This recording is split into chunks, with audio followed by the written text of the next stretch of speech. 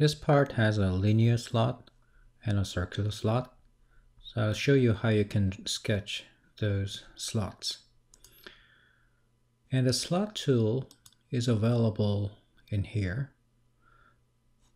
So let's just draw construction lines here. Let's draw a construction arc.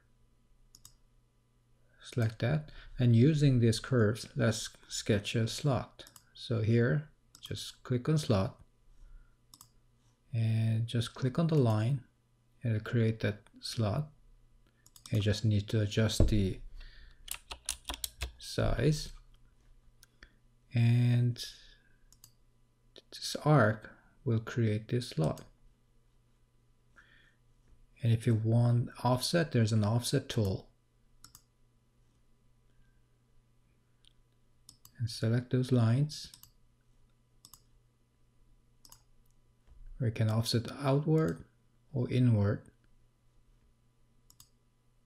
And here you specify the distance for the offset.